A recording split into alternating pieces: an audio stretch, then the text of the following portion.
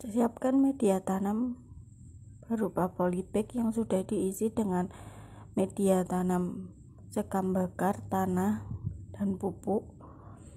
Lalu siapkan juga umbi-umbian yang sudah bertunas. Saya di sini sedang ada bengkoang yang sudah bertunas. Cara penanamannya sama dengan sayuran umbi-umbian lainnya.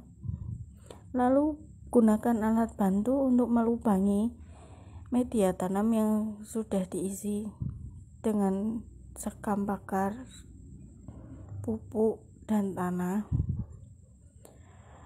Taruh umbi-umbian yang sudah bertunas, tunas berada di atas. Lalu tutup kembali, lalu tutup kembali agar si um, umbi tidak terlihat tidak terlihat dari atas. Cukup tutup tidak usah terlalu ditekan hanya untuk menutupi saja.